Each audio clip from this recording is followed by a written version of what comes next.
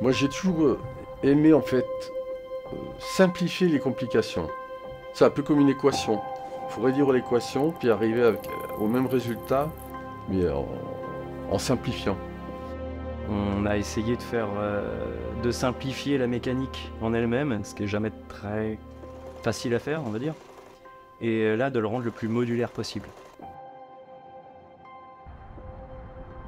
C'est une belle collaboration avec Julien, bien entendu. J'ai tout de suite vu qu'il avait un grand intérêt pour, ses recherches fondamentales. Puis on a beaucoup échangé, puis de, fil en aiguille, on a, on a sympathisé. Je suis venu une fois dans son atelier, alors j'ai découvert son atelier extraordinaire. Toutes les pièces sont faites ici, dans l'atelier. Tous les composants euh, du mouvement, de la boîte, et une partie des éléments du cadran sont faits ici.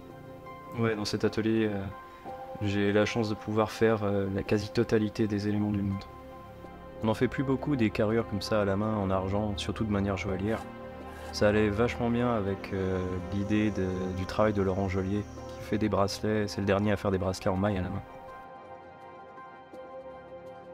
Ce qui est fabuleux aussi, c'est que derrière, il y a Coralie qui a fait toute la, partie gravure et qui met en relief justement tout ce travail de découpage et d'anglage. Et c'est vraiment un travail fantastique.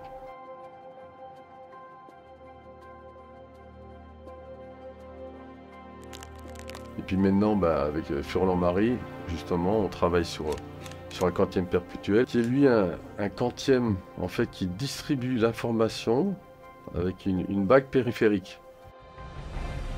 Et je pense que c'est un des plus simples qu'on ait pu réaliser à ce jour.